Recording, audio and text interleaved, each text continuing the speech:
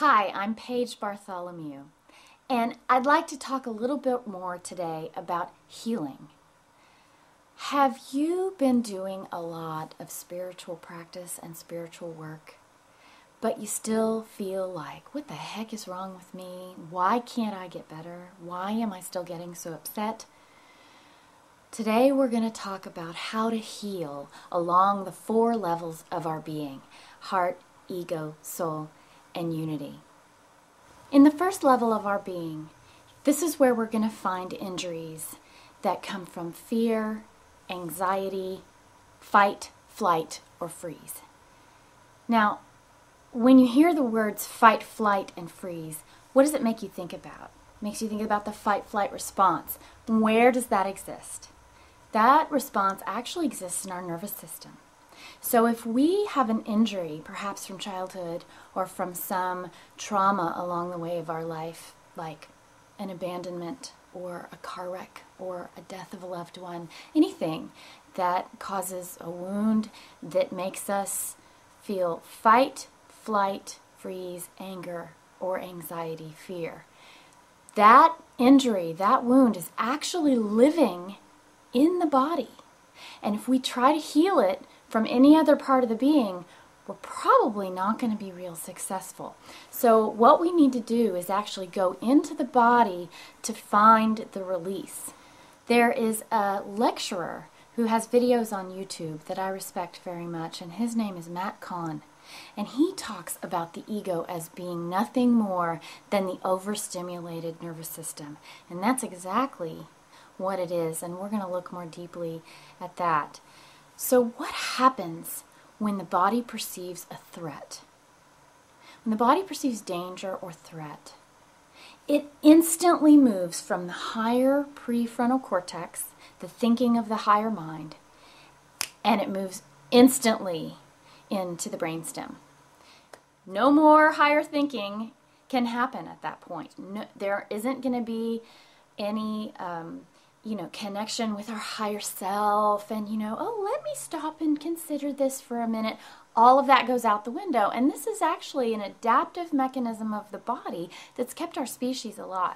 What happens in the nervous system is that the energy that was mobilized to protect the body then gets stuck because it wasn't able to follow through with its protective mechanism. If it's able to protect itself, then the wound will not be established in the same way. It doesn't turn into what we call trauma. So you see people who've been in wars or in traumatic situations where they're reliving the traumatic situation over and over and over again in their own mind, perhaps triggered by a sound or a smell or a behavior that someone might exhibit.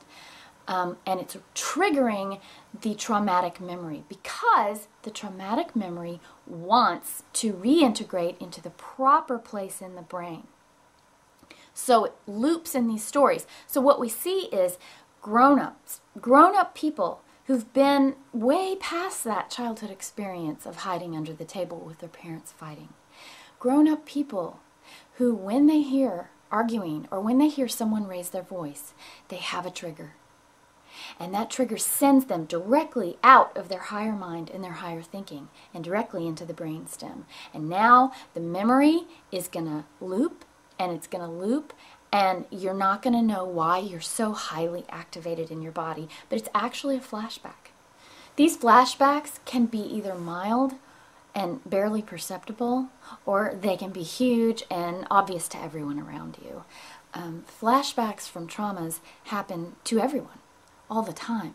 So, what we want to do with this kind of healing, if you are feeling feelings of fear, panic, fight, flight, or freeze, and freeze means complete immobilization where you don't feel anything, then you are you are dealing with a wound that has gone into traumatic memory in the body. And the way to release this is actually through the body. So I'm going to give you a, a really simple technique that you can do to begin the process of healing through the body. The idea is we're trying to regulate our nervous system. We're trying to teach our nervous system that the next time this trigger comes, it won't have to get so upset. So the first thing we do is we go and we we scan our body sensation. Don't think about the story and don't think about the emotion. Think about the body sensation. What am I feeling in my body? Okay, my hands are shaky, my, my fingers are cold, my feet feel kind of cold and numb, and I feel mm, perhaps a disconnect between my lower and upper half. You may feel something completely different than that. Whatever it is you feel is the right thing to feel. We're just noticing. Now I'm going to find a place in my body that feels okay. Uh, so I scan my body. Is there any place in my body that doesn't feel this upset right now? Yeah, I think my little toe on the right side doesn't feel upset right now. My little toe feels happy and remembers what it feels like to be okay. Okay, great. If that's the only place you can find, then we're going to work with that. And if you can't find a place in your body, then you find a place outside your body. Perhaps a memory of a beautiful beach that you visited, or any place that's safe for you, really safe for you. Go there in your mind. What we're going to do is what we call pendulation.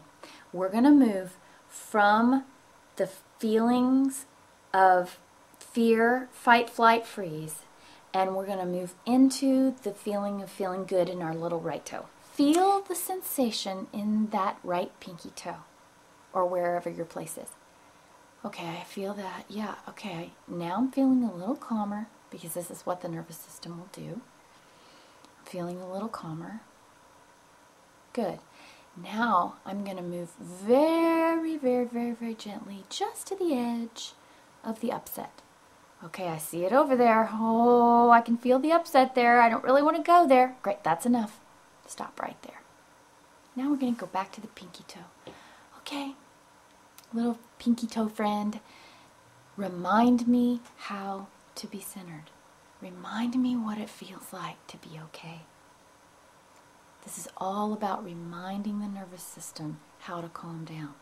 And we do this again and again and again and again until we in as long as you can you know or until you until you feel your body begin to regulate. Regulation of the nervous system is what is needed when we're dealing with trauma.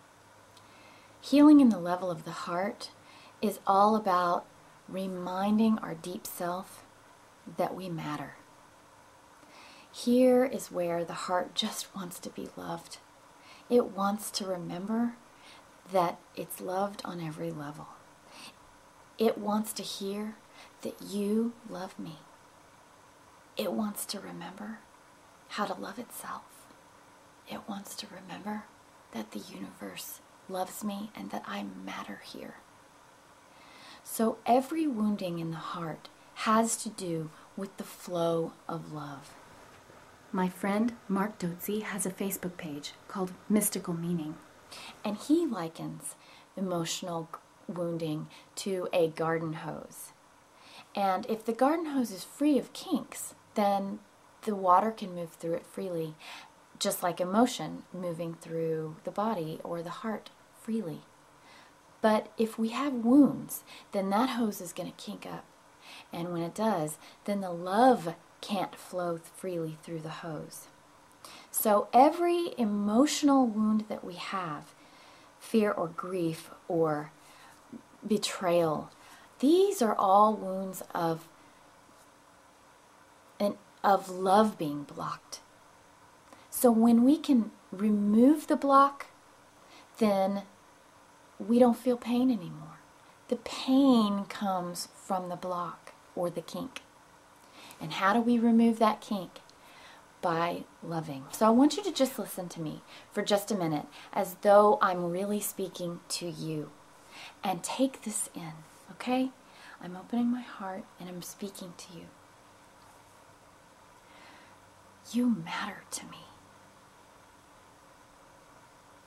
You matter to me. I love you.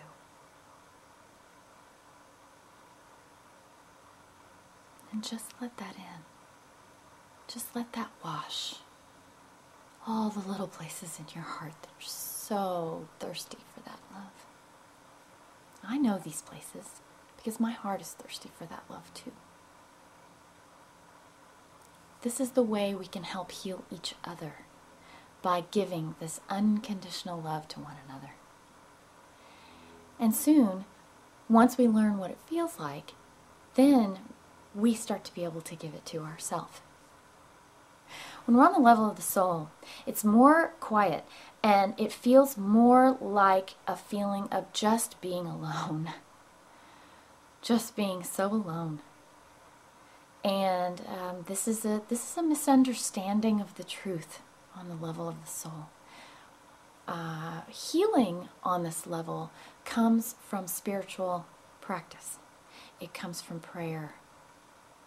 We find healing on a spiritual level from meditation.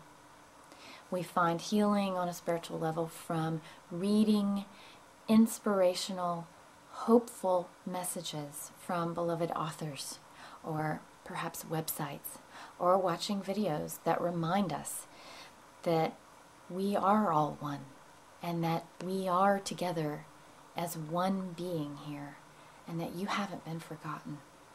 On the level of the unity, there is no wounding because on the level of the unity, we know that all is one, that we matter, that we are loved, and our body is calm because it knows it.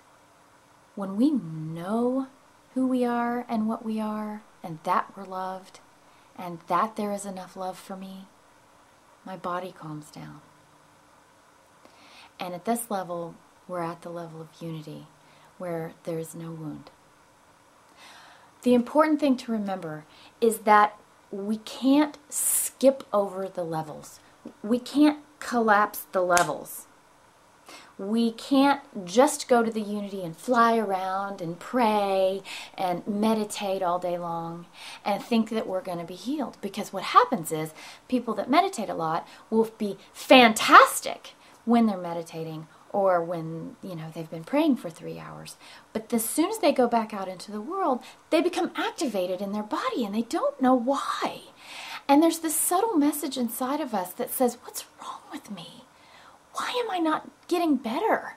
Why am i not able to heal? I'm doing all this spiritual work and i'm not able to heal. The reason we're not able, able to heal is because you can't just focus on the unity and expect for the body and the heart to know the truth about themselves in those levels. We have to work with the level of the body, the level of the heart, and the level of the soul. And we heal on every level.